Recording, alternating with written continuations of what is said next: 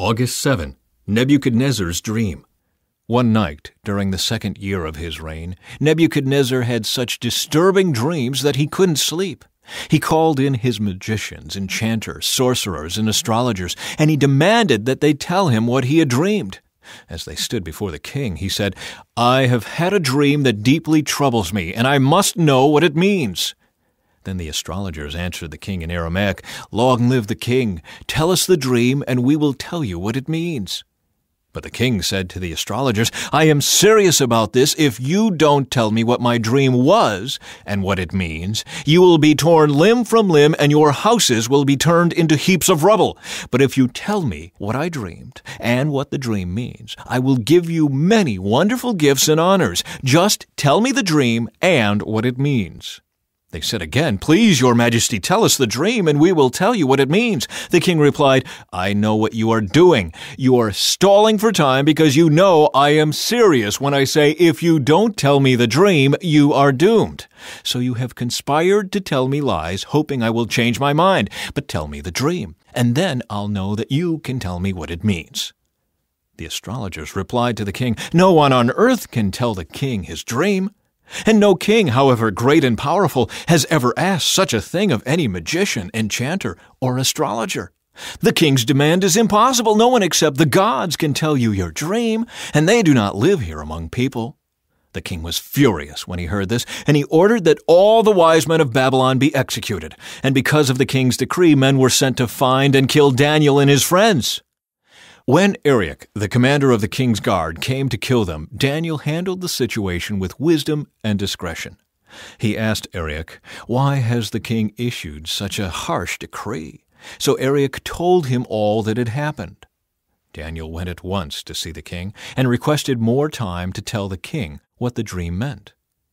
Then Daniel went home and told his friends Hananiah, Mishael, and Azariah what had happened. He urged them to ask the God of heaven to show them his mercy by telling them the secret, so they would not be executed along with the other wise men of Babylon. That night the secret was revealed to Daniel in a vision. Then Daniel praised the God of heaven. He said, Praise the name of God forever and ever, for he has all wisdom and power. He controls the course of world events. He removes kings and sets up other kings. He gives wisdom to the wise and knowledge to the scholars. He reveals deep and mysterious things and knows what lies hidden in darkness, though he is surrounded by light. I thank and praise you, God of my ancestors, for you have given me wisdom and strength. You have told me what we asked of you and revealed to us what the king demanded. Daniel interprets the dream. Then Daniel went in to see Arioch, whom the king had ordered to execute the wise men of Babylon. Daniel said to him, Don't kill the wise men. Take me to the king, and I will tell him the meaning of his dream. Arioch quickly took Daniel to the king and said, I have found one of the captives from Judah who will tell the king the meaning of his dream. The king said to Daniel, also known as Belteshazzar, Is this true? Can you tell me what my dream was and what it means? Daniel replied, There are no wise men, enchanters, magicians, or fortune tellers who can reveal the king's secret, but there is a God in heaven who reveals secrets, and he has shown King Nebuchadnezzar what will happen in the future. Now I will tell you your dream and the visions you saw as you lay on your bed. While your majesty was sleeping, you dreamed about coming events. He who reveals secrets has shown you what is going to happen. And it is not because I am wiser than anyone else that I know the secret of your dream, but because God wants you to understand what was in your heart.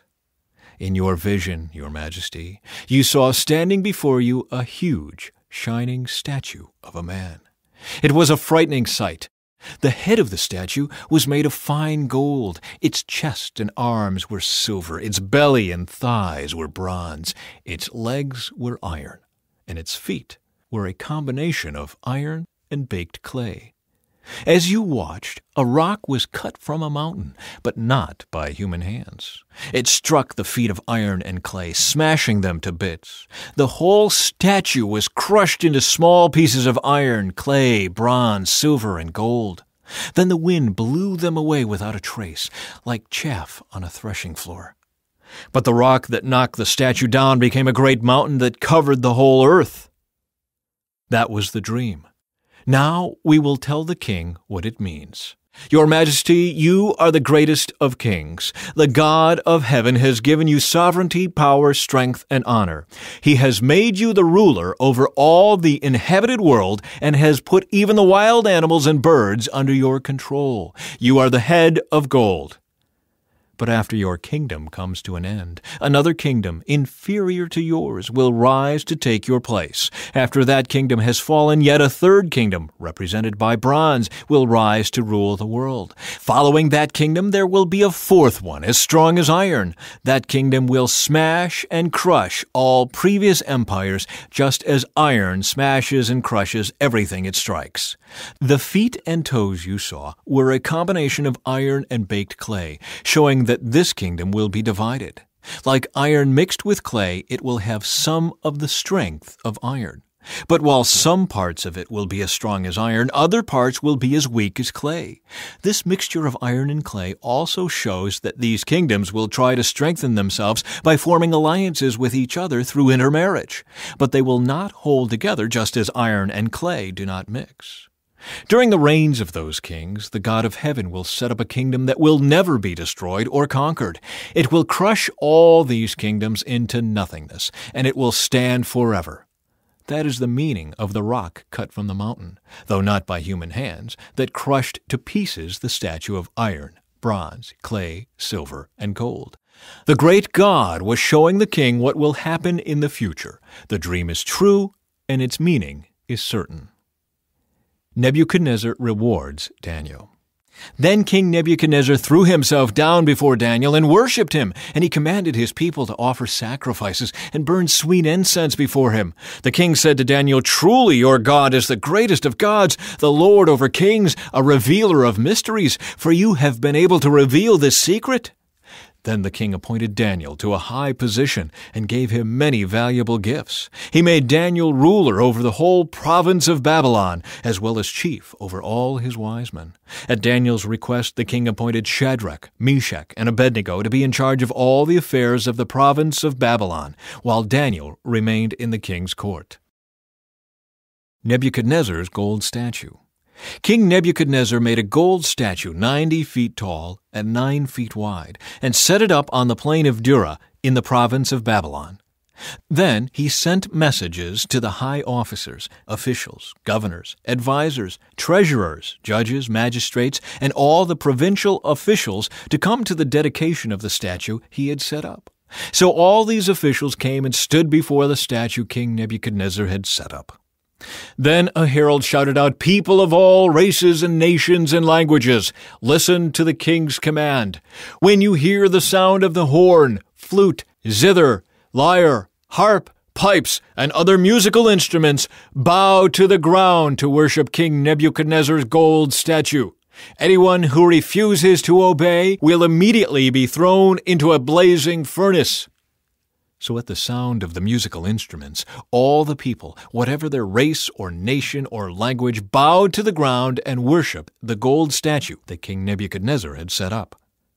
But some of the astrologers went to the king and informed on the Jews. They said to King Nebuchadnezzar, Long live the king! You issued a decree requiring all the people to bow down and worship the gold statue when they hear the sound of the horn, flute, zither, lyre, harp, pipes, and other musical instruments.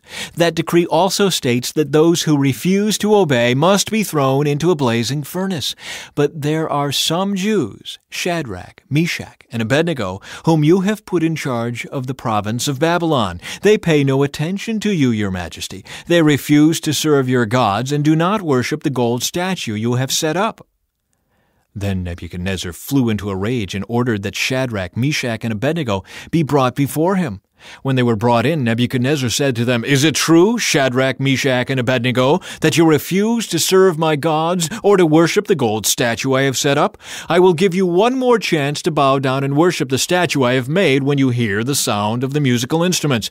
But if you refuse, you will be thrown immediately into the blazing furnace. And then what God will be able to rescue you from my power?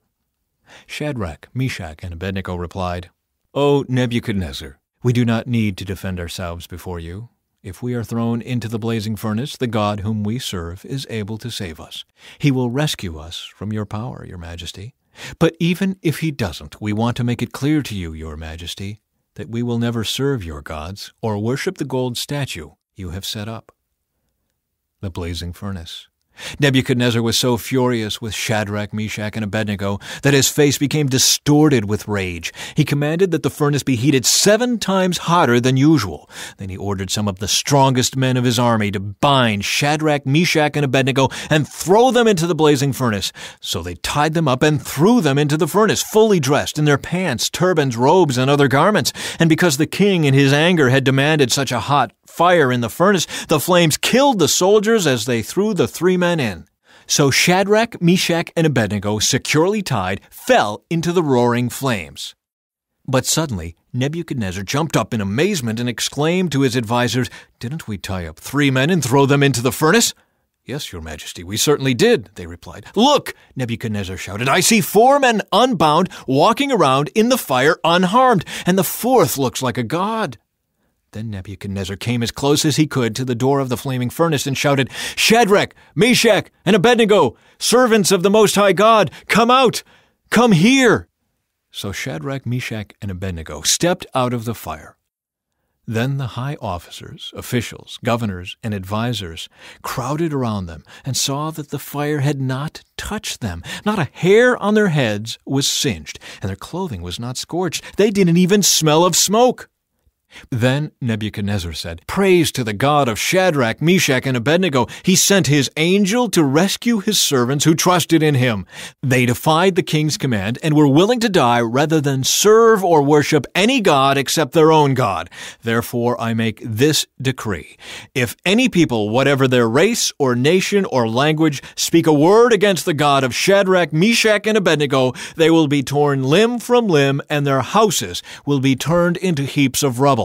There is no other God who can rescue like this. Then the king promoted Shadrach, Meshach, and Abednego to even higher positions in the province of Babylon. Jeremiah speaks at the temple. The Lord gave another message to Jeremiah. He said, Go to the entrance of the Lord's temple and give this message to the people. O Judah, listen to this message from the Lord. Listen to it, all of you who worship here. This is what the Lord of heaven's armies, the God of Israel, says. Even now, if you quit your evil ways, I will let you stay in your own land. But don't be fooled by those who promise you safety simply because the Lord's temple is here. They chant, The Lord's temple is here. The Lord's temple is here. But I will be merciful only if you stop your evil thoughts and deeds and start treating each other with justice. Only if you stop exploiting foreigners, orphans, and widows. Only if you stop your murdering. And only if you stop harming yourselves by worshiping idols. Then I will let you stay in this land that I gave to your ancestors to keep forever. Don't be fooled into thinking that you will never suffer because the temple is here. It's a lie. Do you really think you can steal, murder, commit adultery, lie, and burn incense to Baal and all those other new gods of yours, and then come here and stand before me in my temple and chant, We are safe, only to go right back to all those evils again? Don't you yourselves admit that this temple which bears my name has become a den of thieves? Surely I see all the evil going on there. I, the Lord, have spoken.